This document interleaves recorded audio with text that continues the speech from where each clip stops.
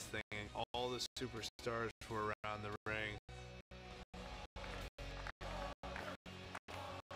It's gonna chanting Connor, Connor, Connor.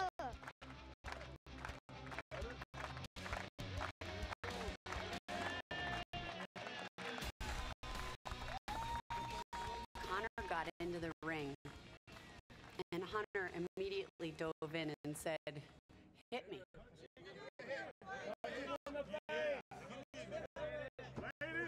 Connor said, I can't hit you.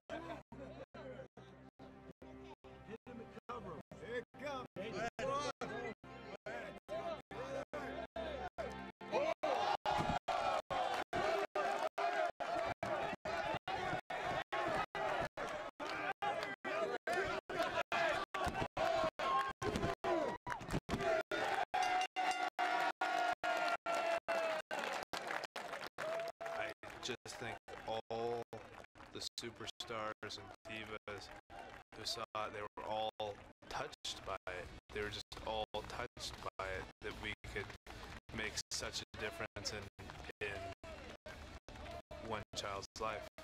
It, it was really a great moment.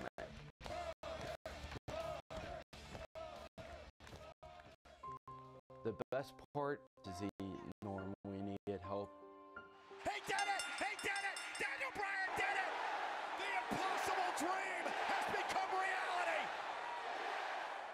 At the end of WrestleMania, as a dad, I kept hoping that maybe Daniel saw Connor sitting there.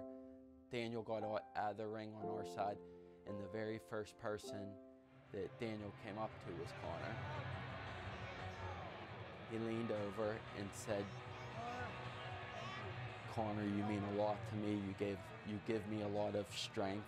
You helped me to earn this, and please keep on fighting. Connor was elated. It was a perfect moment.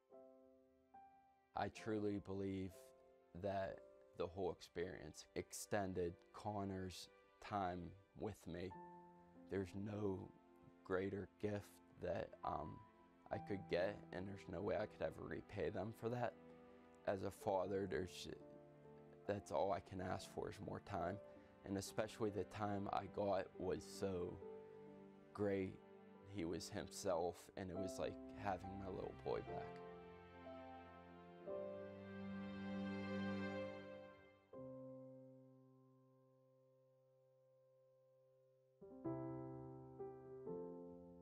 I think Connor just, he was an old soul. He just had a magic about him. He had a light. And anybody that was around him